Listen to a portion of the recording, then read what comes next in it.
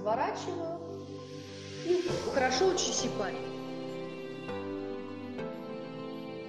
Очень часто при имплантации филлера